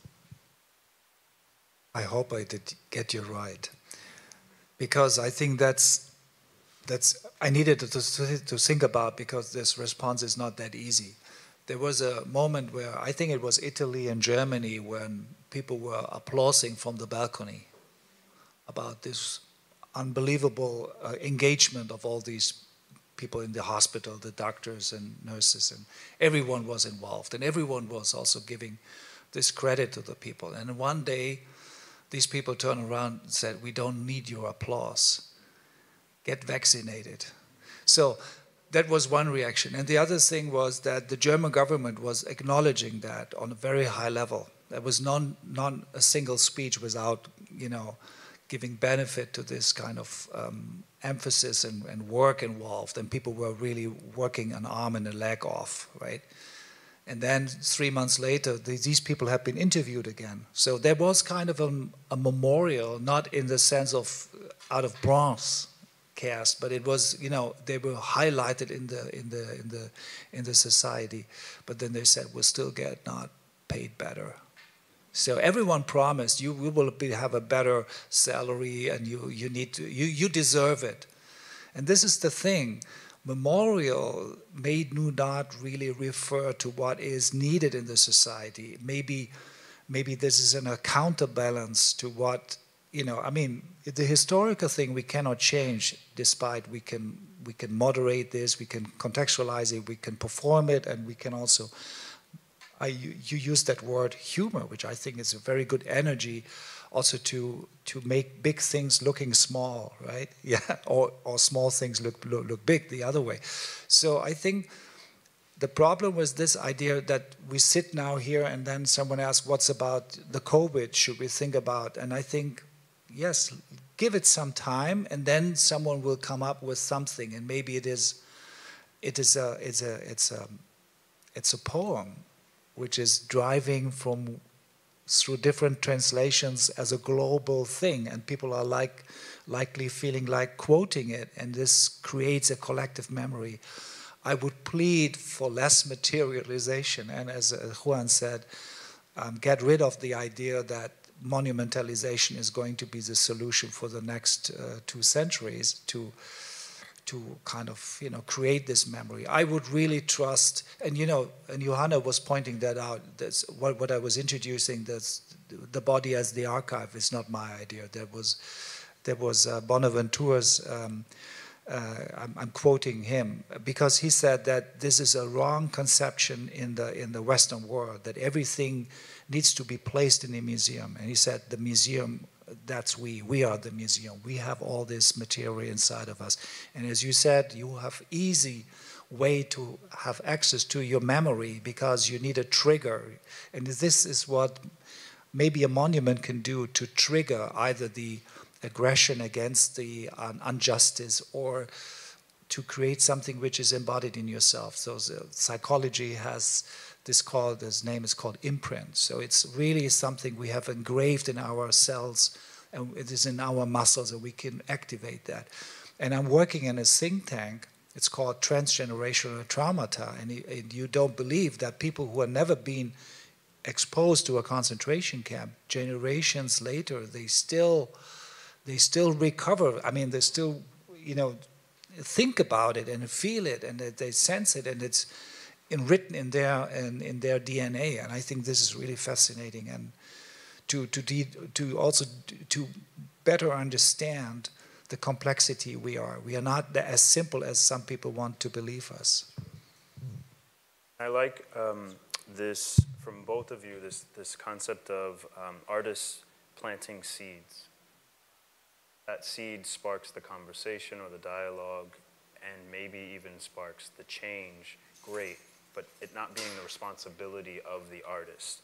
And so um, I would encourage you to go, again, go back to, and all of you to go back to our last discussion where Ulf and, and Lemerci, we talk a bit about processes and the ways in which we are in selecting, and, and I use King Boston's uh, recent or upcoming installment as an example of community engagement to determine then what comes of this monument or this commemoration. But the community engagement helps, to your point, determine what is the need, um, what, what, is, what needs to be created in this space rather than sort of the, the artist uh, holding that, bearing that burden of responsibility of, of, of, of um, shame and judgment for the fact that there are other needs that, that this hospital that you named um, was in need of, and that separation so that art can be art. And if it plants seeds and it sparks change, great, but that's not the responsibility of it. Um, and so this is a really great segue to, to close things out, but sort of um, um, encourage you all. Uh, Somersets, I believe, is running from July to August. Um, and so encourage you all to please go and check that out. I'm, I'm thoroughly excited to continue our conversations offline and continue to be, stay connected and follow each of your works. Uh, from, from near and afar. Um, but this concept of uh, just a challenge to all of us here um, as both artists and consumers in the ways in which we advocate on behalf of the reimagining of public spaces. Um, I think it's one of those things, I would say personally, before I stepped into these dialogues, um, I kind of assumed was just the responsibility of the, the artist. And when you realize how so many community stakeholders play a part in um, this work and the decisions that get made um, when we come together as a collective to, to um, reimagine spaces, but also reimagine sort of how we engage in those spaces with each other through discourse and interaction with the, the pieces of, of, of beauty. Um, it's a really great challenge to us all to, to be active consumers and participants in, in so um, I thank you both for your, for your work, but for, for your time this evening and, and, and your sharing your truths. I thank you all for being here this evening. Um, and with that, I'm going to turn things over to no one. Great. Everyone, have a great evening. Thank you. Thank you. That's great. Thank you. Thank you. I, when I tell you.